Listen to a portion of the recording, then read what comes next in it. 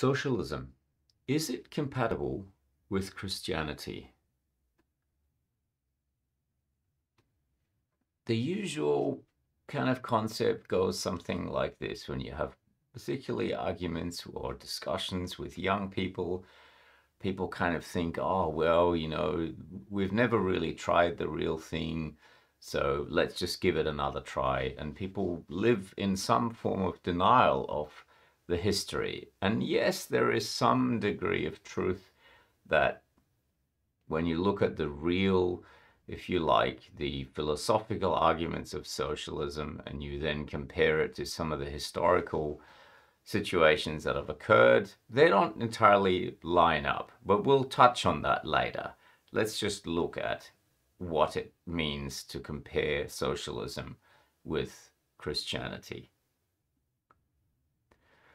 So first up, I think it's important to understand that we're not talking about communism here. Communism is a dreaded word, and today the more popular term is democratic socialism. Somehow people seem to think that this changes the basic idea behind socialism. It's a kind of soft, modern version, and it's hip and you know, people think, oh, there's, it's not really communism. We're talking about something totally different.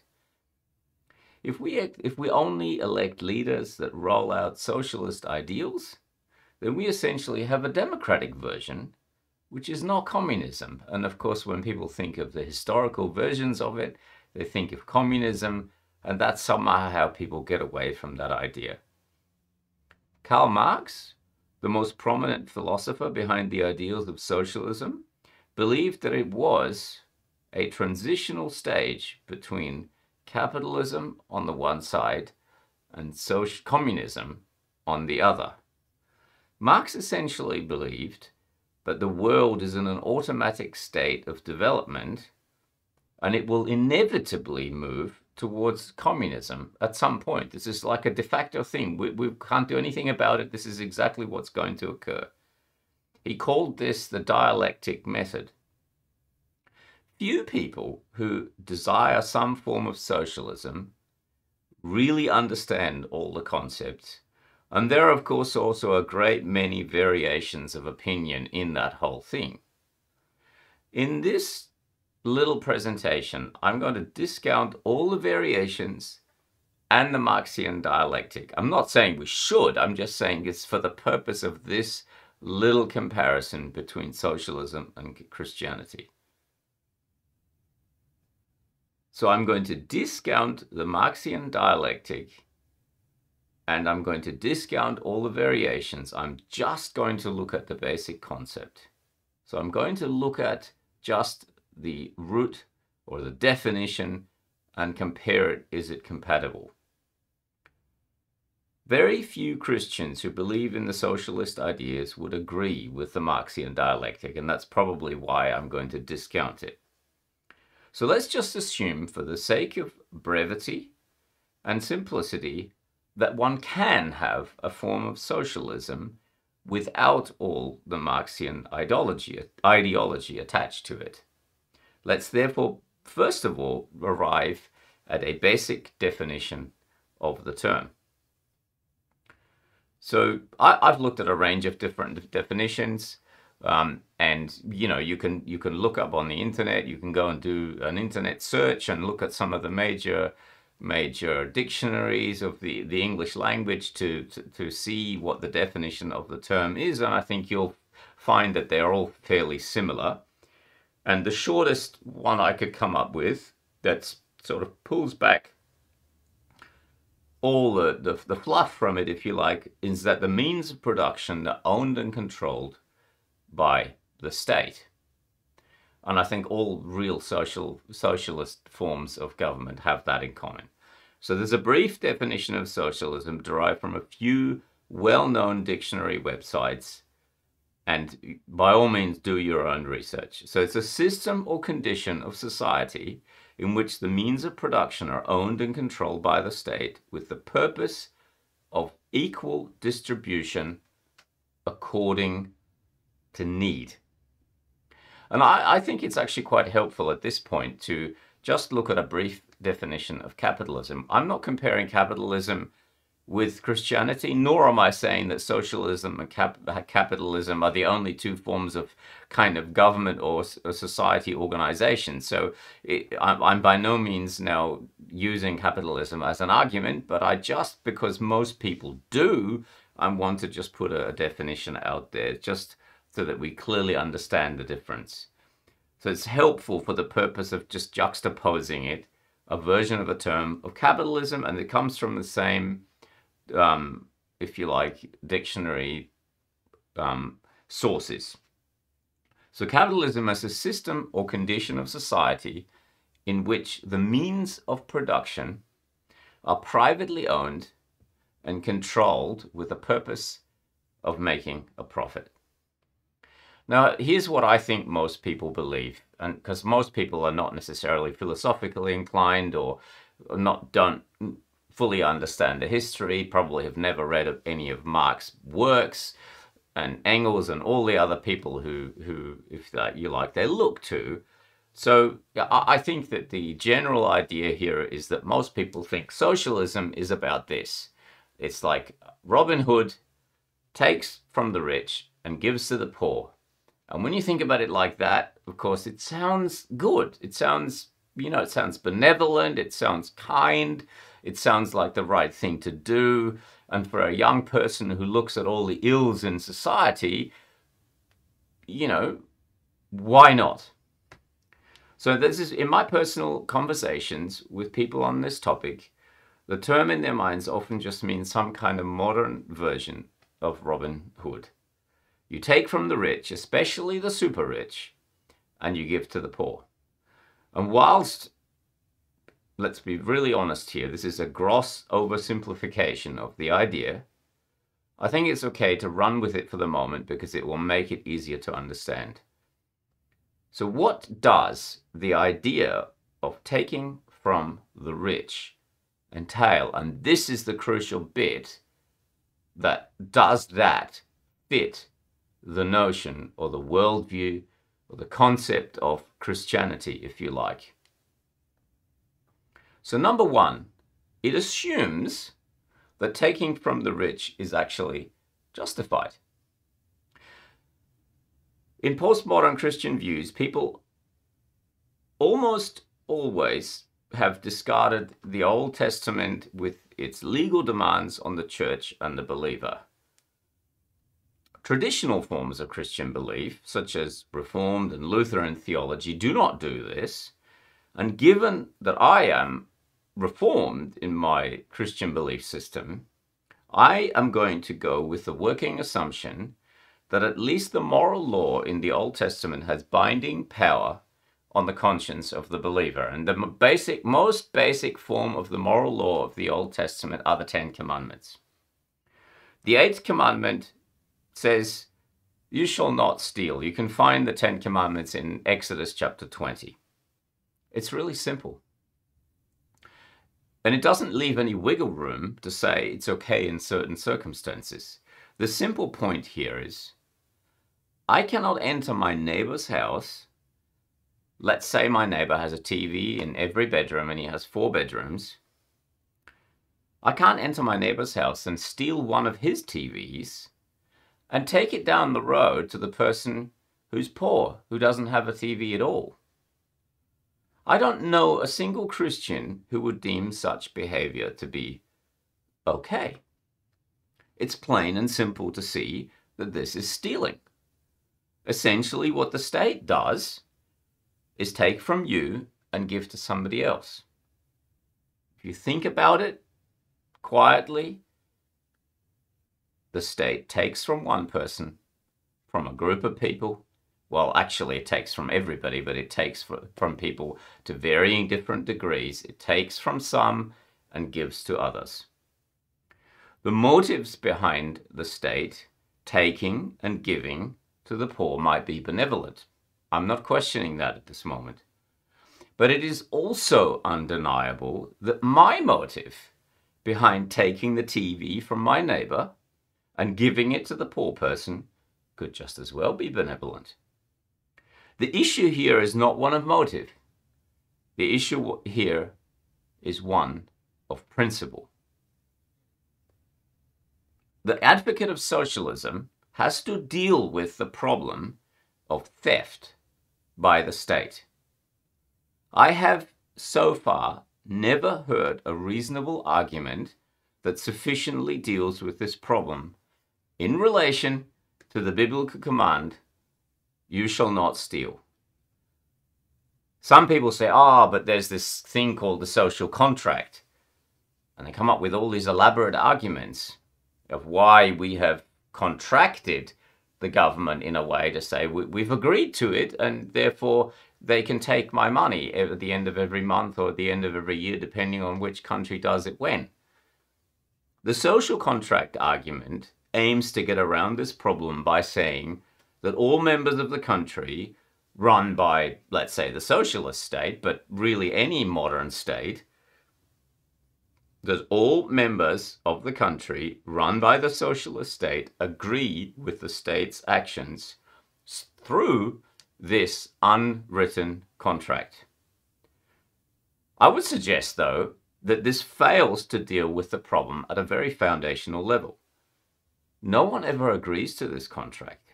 I have a contract that I want to buy a house, what do I do? I, dis- I discuss with the person who's selling the house and with my bank and with all the parties to that contract. I come to an agreement and we enter into the contract. No one has ever agreed to the, social, the so-called unwritten social contract that is used as the argument to say the state has the right to do what I, as a person, do not have the right to do. No one ever agrees to this contract in the way all normal contracts are handled. Contracts re require discussion and agreement prior to accepting the contract, and the acceptance, very importantly, is voluntary. None of the st standard contract ideas fit the social contract concept, and hence it is a fallacy to use it as an argument with the problem of the state stealing. Number two, this idea, remember we're talking about Robin Hood takes from the rich, gives to the poor as being put forward as the argument that socialism is the perfectly valid concept. The rich are collectively guilty of taking from the poor. This is a failed argument. I'm not suggesting that there aren't rich people who have fraudulently taken from the poor, but it is it is it is wrong to say that all wealthy people have done so. That is patently false. So secondly, the Robin Hood idea assumes that the rich are collectively guilty of stealing from the poor. No doubt some rich people or corporations do steal and do deal fraudulently and have thereby achieved an unfair advantage in the marketplace. Nonetheless, it is logically flawed to state that because some people are guilty of fraud, all are. This is as flawed as saying that some married, because some married men beat their wives, all married men do so, and hence we should reject the concept of marriage altogether. That is patently nonsense. The simple answer to this problem is not the collective stealing by the state of all the rich, but rather the eradication of fraud. In this discussion, we're dealing with the question of compatibility between socialism and Christianity. Not with the argument of between socialism and capitalism, that's a totally separate argument. All human forms of economic activity are inherently flawed, since all humans are flawed by the very sin nature they are subject to. Remember, we're dealing with Christianity here. When arguing for or against a particular economic solution to societal issues, the Christian should firstly look to Scripture and see which system directly violates biblical commands by first causes. Thirdly, this idea assumes that there's a built-in assumption that the poor are always innocent. This is by no means the case. Yes, much of our societal poverty is circumstantial, and as a Christian, one should be concerned about justice and helping the poor. This is not the argument in this situation here. Of course, that is true. But that does not therefore lead to the assumption that is made when we're talking about socialism. The Bible strongly advocates the individual believer to be generous and kind to the poor and give from his abundance, as in the wealthy believer. There is, however, no injunction in the Bible, and particularly no justification for a kind of government, such as a socialist kind, and to elevate this government to a position of the sole distributor of justice, or financial justice in that sense. Many Christians make the mistake that Paul's call to submit to the magistrate in Romans 13 is an endorsement of the concept of the state. This has to be imposed on the text. Paul speaks of the magistrate who is set to punish evil and reward good. It is perfectly feasible to view the magistrate as a person who would exist outside of a monopolistic kind of government the way we have it right now but rather let's look at a totally free form of government, a decentralized form of government where there is no federal, no state government. Let's see that talking about Australia here, where the government exists in each council. And if I don't like the government in my council, I simply move to another council and have a totally different government. There would, of course, quite likely be arbiters of all the contractual agreements that exist in such a decentralized situation. Those arbiters would perfectly fit well with the concept of the magistrate that Paul talks of in Romans 13. The Roman magistrate in Romans 13 would fit this role of arbiter quite well. Hence, one must be very careful to read into this passage what is plainly not there. Deuteronomy tells us there will never cease to be poor in the land, giving us a strong indication that this issue will not be resolved in human history. Most believers think that when Christ returns to inaugurate the new heavens and the new earth, all issues relating to sin will be eradicated. There are numerous calls to be generous and kind to the poor in Scripture, but not one of these are a call for a monopolistic state to act as the single redistributor of wealth. The Christian call to look after the poor is not compatible with a socialist call to give the state a monopoly of redistributive power. The book of law of the Old Testament tells us we should not be partial to the poor or defer to the great. In other words, each situation should be judged on its own merit. The blanket redistribution of wealth, as Marx termed it, from each according to his ability to each according to his need, sounds good on the surface. But who determines who has ability? And who determines who has need? If I, as an individual, make a mistake by giving to the wrong person, who defrauded me by deceiving me. Only two parties are involved. If the state errs, vast numbers of people are involved. Socialist redistribution of wealth is both wrong at the fundamental level because it is theft, but it is also wrong at the pragmatic level because it can be absolutely catastrophic. And honestly, I think it is an unavoidable reading of history that this is precisely what happens. Finally, we have the issue of coercion. Whilst some may voluntarily agree to allow the state to redistribute, what do we do with those who do not agree? There, the answer is found in the singular monopoly of coercion that the state ends with. In reality, all forms of statism rely on the fact that the state has to be given powers and rights that no individual could morally be allowed to have. How is it that the socialist readily agrees that theft is morally wrong at the individual level, but readily agrees that the state can do what the individual would end up in jail for? Logic demands that if something is morally wrong for an individual, it must be morally wrong for a group. Since a group consists of individuals. To simply say the coercive powers of the state are nothing but a myth. And I mean a myth that they are legitimate. Of course, the, the state has coercive power. That's not in question. The question of are they legitimate? And I think that is a myth. History demands that we reject socialism. From a Christian perspective, most certainly.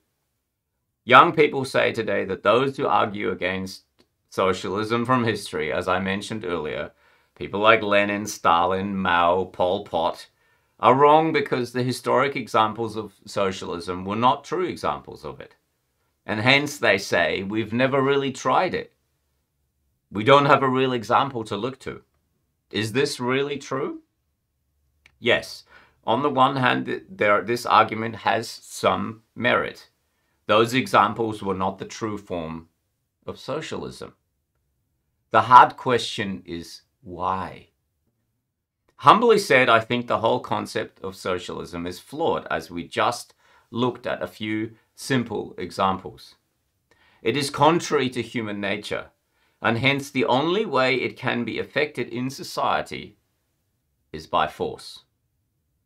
And in that sense, the examples that we have are actually true examples of the only kind of socialism we will ever see in human history.